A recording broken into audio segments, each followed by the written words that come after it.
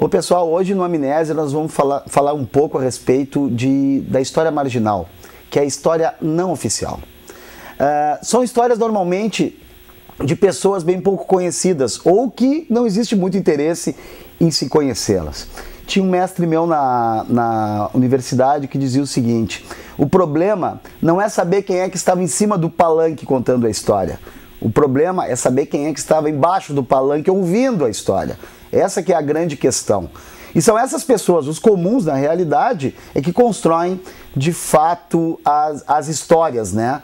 Que desconhecemos. Aqui no caso do Rio Grande do Sul, uma dessas amnésias, que são bastante interessantes, ela está relacionada diretamente à história oficial. Nós temos aqui no Sul uma, uma tendência, uma, uma linha histórica que começou lá pela década de 1950 e 1960, que tentava tratar de uma coisa chamada de a escravidão cordial. Uh, durante essa época, se tentou muito se convencer as pessoas que os negros aqui no Rio Grande do Sul não eram tão maltratados como no resto do país.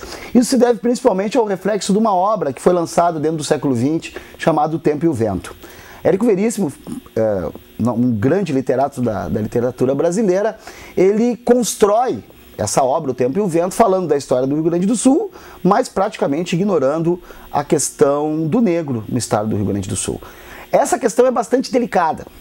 Por quê? Bom, em primeiro lugar, a gente tem que entender que na pauta de exportações do Brasil, a, a, a, o primeiro item da pauta não era cana-de-açúcar no final do século XIX, era negros. O Brasil foi o maior exportador de pessoas, de negros, dentro do século XIX certo? Inclusive sendo o último país a abolir a escravidão.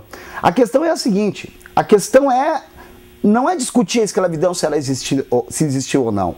A questão é saber quem vendia os negros e como eles eram vendidos. E é incrível que nos livros de história isso simplesmente não aparecem.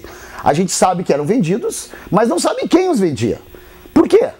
Bom, na realidade, um dos motivos principais é que ninguém quer se vincular à questão da escravidão humana.